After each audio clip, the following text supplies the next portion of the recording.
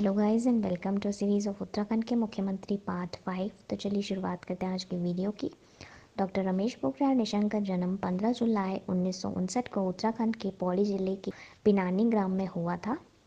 इन्होंने H N Garhwal विश्वविद्यालय श्रीनगर से अपनी शिक्षा प्राप्त की। यह पहली बार उन्नीस सौ इक्यानबे में कर्णप्रयाग विधानसभा क्षेत्र से चुनाव जीते वह कर्णप्रयाग से लगातार तीन बार विधायक रहे। 1997 में इन्होंने उत्तर प्रदेश के कल्याण सिंह की सरकार में कैबिनेट मंत्री तथा 1999 में राम प्रकाश गुप्त की सरकार में धर्मस्व एवं सांस्कृतिक मंत्री का पद भी संभाला। इन्होंने वर्ष 2000 में उत्तराखंड सरकार में वित्त राजस्व सहित 12 विभागों के मंत्री के रूप में कार्य किया। वह वर्ष 2007 में चिकित्सा, स्वास्थ्य, भाषा तथा विज्ञान प्रौद्योगिकी विभाग के मंत्री बने।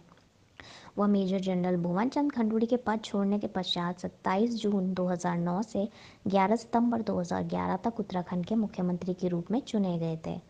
वह 2012 में डोईवाला विधानसभा क्षेत्र से विधायक तथा वर्ष 2014 व 2019 में हरिद्वार लोकसभा क्षेत्र से सांसद चुने गए। इन्होंने वर्ष 2019 में भारत सरकार के मानव संसाधन विकास मंत्री के रूप में पद ग्रहण किया। बात करें इनके साहित्यिक योगदान की तो इन्होंने पहली कविता संग्रह वर्ष 1983 में प्रकाशित किया। इनके द्वारा लिखे गए कहानियाँ संग्रह हैं। रोशनी की एक किरण, बस एक ही इच्छा, भीड़ साक्षी है, क्या नहीं हो सकता? एक और कहानी जो कि प्रमुख है।